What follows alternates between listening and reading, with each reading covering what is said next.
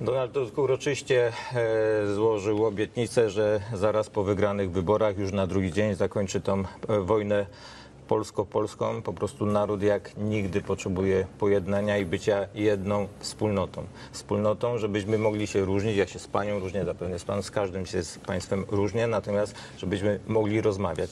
Tak było od 89 roku do 2015. Powinni, mogliśmy się spierać, rozmawiać, kłócić, y, ale, ale nie obrażać. Nazywanie z mównicy lidera opozycji zdrajcą, agentem niemieckim, ruskim agentem, no przez zdrajców się wiesza, tak? To, to ja- jaki płynie sygnał e, od waszych liderów? I kropka, tak? panie pośle. No, nie, pro, Proszę. pani, pani, mu- pani mówi kropka, tak? Natomiast Bo chcę każdemu dać się wypowiedzieć, panie za pośle. emocje e, głównie odpowiada ten, kto rządzi. I to dzisiaj za te emocje, które są, odpowiada Prawo i Sprawiedliwość, ponieważ macie wszelkie narzędzia, żeby to gasić, ale wy to podpalacie i wasza konwencja w Spodku była tylko takim kolejnym e, e, podpaleniem e, histerii, emocji. Tylko Tusk, Tusk, Tusk, Tusk, wszystko Tusk.